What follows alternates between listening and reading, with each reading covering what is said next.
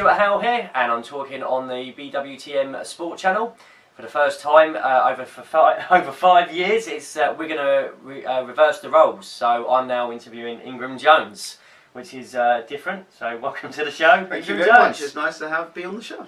So, Ing- this is the Ingram from BW. Uh, sorry, uh, BW. TM. Oh, no, no, no, sorry, BWTM. So, what happened yesterday is I obviously saw you coach cricket and uh, just shadowing. I was just I wasn't getting involved shadowing cricket, which was very interesting. So uh, I've got a few questions if that's all right with you. Mm. Go ahead. So uh, obviously loving the way you were coaching. Mhm. Okay. And first, I'm just going to talk about technique, Yes. and then later in the show, I'm going to obviously talk about NLP Yes. um, with coaching. Yep. But I, I want to just focus on something technique, which I found very interesting. Okay. That's okay. Yeah, So. What happened? What I noticed was on the when he was teaching the batsman, Yes. is um, that the child couldn't, you know, the, the cricketer wasn't getting it at all. You know, he was just swinging, hitting it up in the air, Yeah. missing it, and Yeah. you know, it was almost like a, a like a car crash waiting to happen. Mhm. Uh, and the beauty of it was, what I noticed, from an outside point of view, Mm. the first thing I and bearing in mind, and this is why I'm putting this across, is because I'm not a cricket involved. Mhm. From an outsider, I was like, he just needs to hold the bat differently. And you come from a different angle completely, Mhm. where you were talking about footwork. Mhm. Now, the interesting part for me is why, when it's you're hitting the bat, why was you going straight for something that an outsider wouldn't see? Mm. What? How do you see these things? What what made it? Well, you know, as you know, you know, I love boxing as well. yeah, of So. I see the correlation between boxing and cricket is very similar. People think, how's that? It's because everything's based on the footwork. No matter how good a punch you can throw, if you haven't got good balance, you haven't got good footwork, you've got to have footwork to get in, to get out, to get in, throw shots, get out, move to the sides. When you're in trouble, be able to get away from punches. You know, get into get into position to throw the right shots, to set a fighter up. All these things are important. As for a cricketer, you need to know when to come forward, when to go back.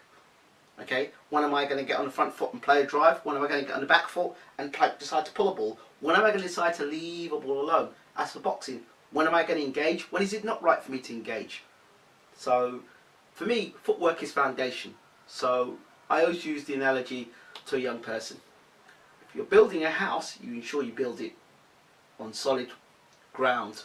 Yeah. If you build it on sand, when the trouble comes, water comes in, your whole house falls down. So you can have the biggest punches in the world. You can have the big, the best shots around. But if your foundation isn't correct, when it's put under pressure, it all falls apart.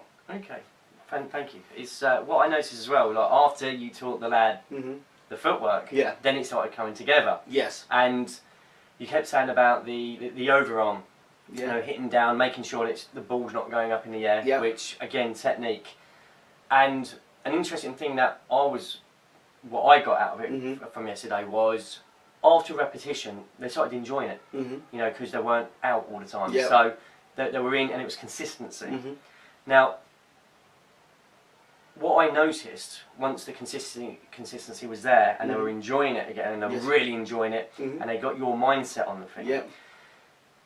Afterwards, when you played the game, Mm-hmm. you let them have what I call like the free roll, Yes. and and at times, all right, they were still doing what you were doing, Yes. what you taught them, but Mhm. after that, they were smashing the ball and making different shots. Mhm. How comes you let them start? Because at the first you're going, look, stop the stop the big shots, stop Mhm. the big shots. Mhm. Let's learn the basics. Mm-hmm. They got that right. Mhm. Why did you let them then let them start doing the old the, the big shots? Because I'm because I'm I'm conscious. Either if it be a boxer, a cricketer, a tennis player, a footballer, you've got to ensure that practice is in preparation for matches.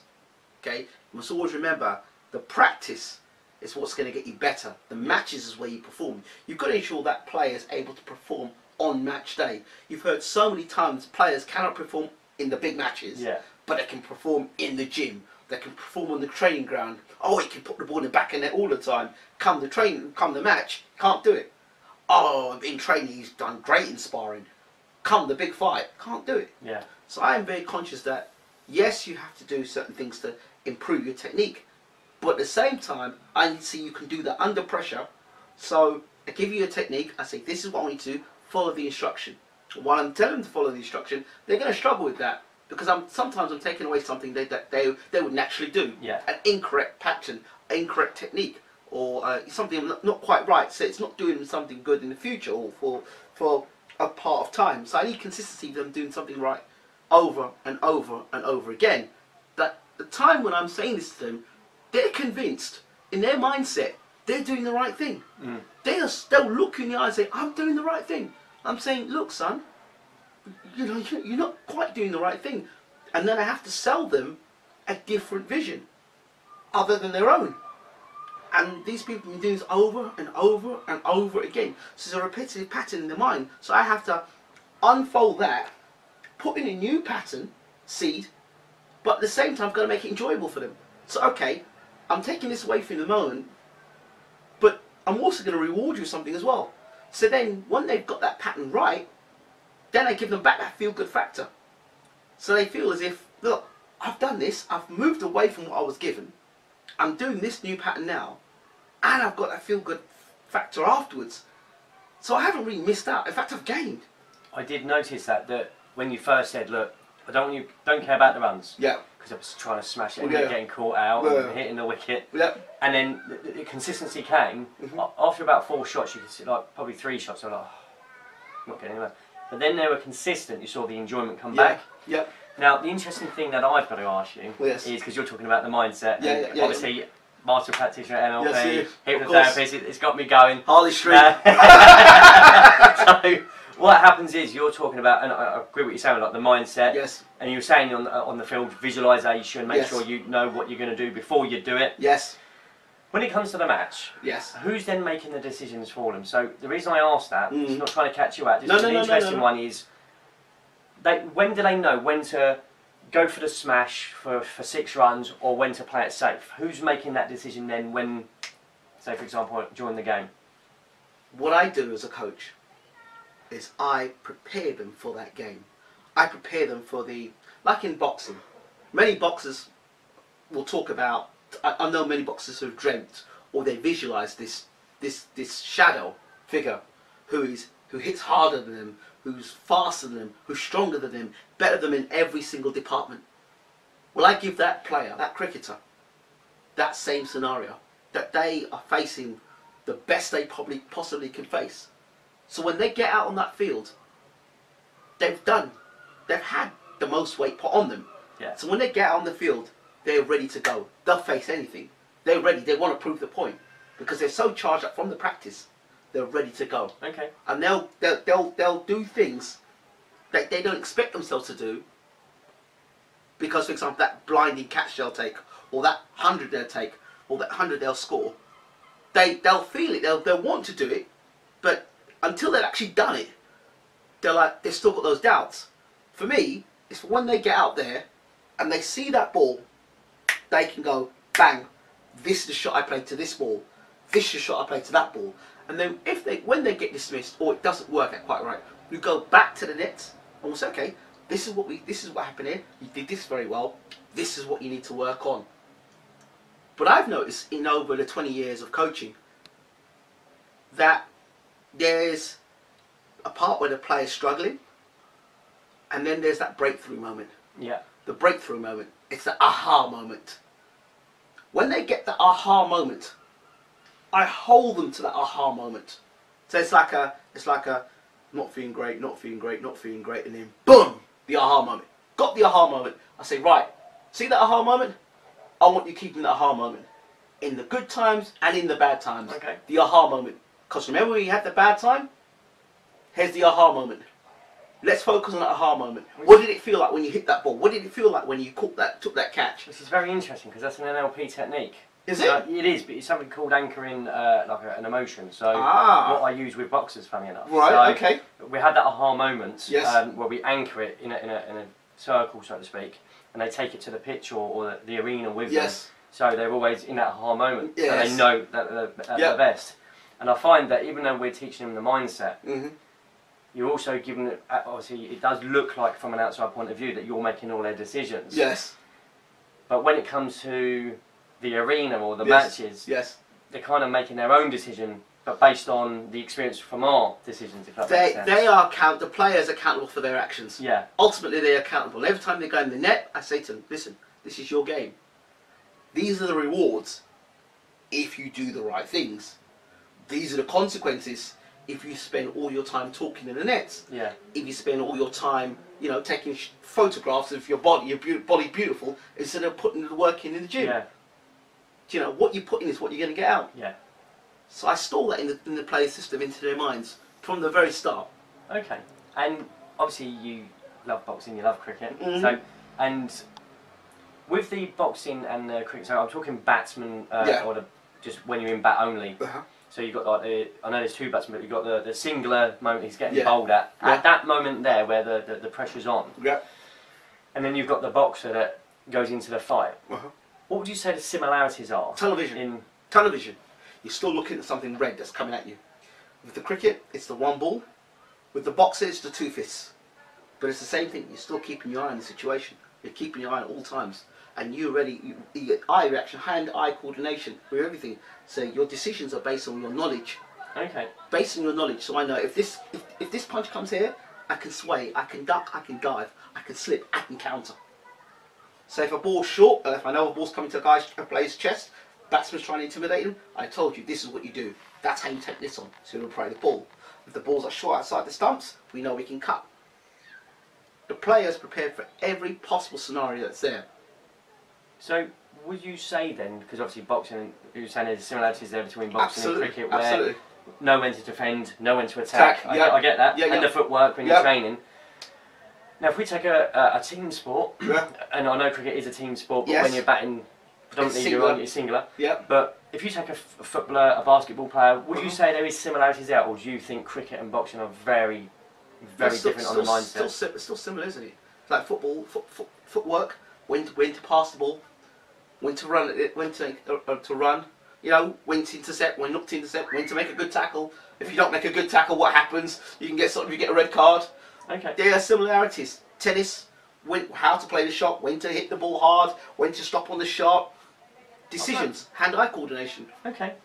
Here's my next question. Okay, Go ahead. because I'm leading to this, which because you, I don't know whether you knew you were doing it or didn't know you were doing it, but Right. with your coaching, I said you were using a lot of NLP in Yes. your coaching, the way you're showing them, Yes. the way you were getting them to visualise. Yes. Now, I appreciate you know your cricket, Yes. and I appreciate you know a lot about cricket. Yes. Now, I don't. I'm an outsider. Okay. However, the reason I'm asking this is if I took you to, for example, uh, a badminton player Yes. who's struggling on confidence, Yes. but knows the skill, so to speak. Yes. But you knew the basics of badminton, so you had a few days to look at the, Yeah. the basics. Yeah. Yeah. Would you be able to coach that badminton player into a? Be- I'm not saying like an elite, but Yeah. would you be able to make that badminton player a better player? I think the coaching, I think the coaching philosophies are transferable, Mm, not just in sport but in life. Do you know what I mean? yeah. You need to know when to engage, when not to engage. You need to know it's positive, being positive, but you need to know why you're being positive. Yeah. And if you're not doing, if you're, you're not being successful as you you should be, why you're not being successful? Um, I, are expectations too high for a skill level you've got? Okay, well, okay, I want to be an international player, but look, mate, you're not putting the work in. I want to be an international player Yeah. but your skill set's not great. I want to be an international player, but I'm playing at a club that's not really benefiting the skill set I have. So there's lots of things to look at. That badminton player, I'm going to ask that question. Video analysis. Let's look at your play. Yeah. Let's look at how you're playing. Let's see how what's your what's your makeup, what's your build up before you go, your mental setup before you go and play the game.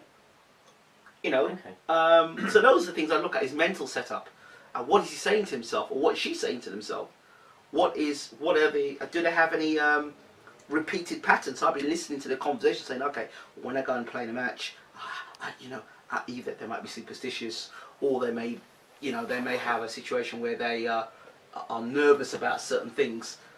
Maybe we can look at those things and look to see if we can improve those things, and take away those areas of fear and fill that with something of more positive note. So they're using the fear to uh, inspire them rather than the fear to paralyze them. Okay. Um, my last question, um, Mhm. which is because we're going down this road now, and it's very interesting. Yes. So, and I know you know your cricket, and it was Yeah. honestly it was great to watch him Mhm. coach cricket. It was because I learned a lot from the cricket myself. yeah, yeah. yeah. Where I was like, oh, I know how to hold a bat now. I know, yeah, yeah. I know how to do the footwork now. Yeah, yeah. Um, I know how to, to, to stand now Yeah. because I made that mistake of being so it's upright. Yeah. So I get that. So what I'm going to ask you is if you take a coach like yourself Uh-huh. Um, and I'm going to pick on the badminton player again. so we, we, we use this badminton player. We Uh-huh. get the top hypnotherapist there. Yep. We get a top nutritionist with that badminton player. Uh-huh. And we also get a top physio. Now, Mhm. physio that is, um, he's worked with, say, for example, the best boxers in the world. Yeah, yeah, yeah. You've worked with the best, say, cricketers in the world. Yeah. I've worked with the best boxers in the world, say. Uh-huh. So we all go to this badminton player, bearing in mind we don't know badminton. Uh-huh. Do you feel, with our expertise and experience with the, the, the level we've worked at, Mhm. helping this player, do you think we could make that badminton player into a great player? And Bearing in mind that you know coaching, I know mindset, the nutritionist knows all about nutrition, Yep. and the physio knows all about the muscles and, and movement. Well, I think you know you, you're talking about excellence all round. So when a player is pretty average or doing average things, and you've got excellence around him, the iron sharpens iron, doesn't it? Yeah. So there's no doubt that that excellence is going to rub off on that player. So the the player may have a decent skill set, but with a nutritionist there, as long as the but it's down to the player's responsibility and be accountable for their actions. They have to understand and see. I see value yeah, in everybody that's around me. yeah, So for all these people to be around me, I've got to be a pretty good player. yeah, But the player has to understand it themselves.